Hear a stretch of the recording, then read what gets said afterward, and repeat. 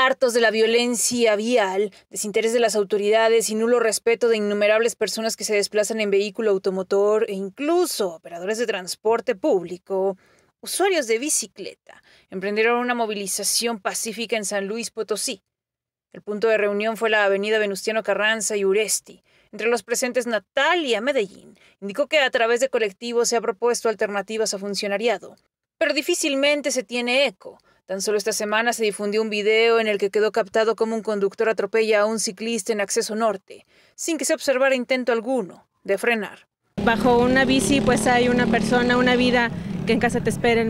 por mi parte, por ejemplo, yo tengo una hija que me espera, me, me indigna el poder como no generar estructuras ni, ni, leyes ni normas para proteger a los ciclistas. Hizo énfasis en la necesidad de que el sector se visibilice. El transporte público sí, es un caos para el ciclista, no nos ve, no hay capacitación para ellos. Entre las arterias en las que resulta más complicado desplazarse mencionó himno nacional, independientemente de que cuente con una ciclovía, seminario e industrias.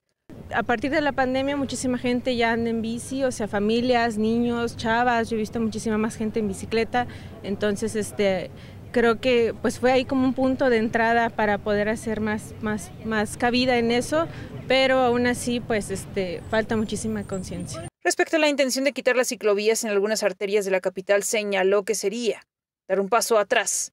Que es un retraso, es un retraso Mm, si ya la gente estaba ocupando esos espacios, el decir ya no hay, pues realmente es como volver. Por su parte, Rubén Pacheco, quien asimismo se desplaza en la bicicleta, señaló que lo registrado en Acceso Norte no es el único caso.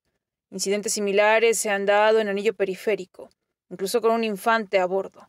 Y pues en la, en la mayoría de los casos los, pues las víctimas terminan en ataúdes, ¿no? Eh, rara vez eh, un ciclista atropellado pues sobrevive. Entonces, eh, yo creo que todos debemos de, de, ser empáticos, ¿no? de valorar al otro que va pues en patineta, en patines, en una bicicleta, en el auto, en el transporte, de, en el camión.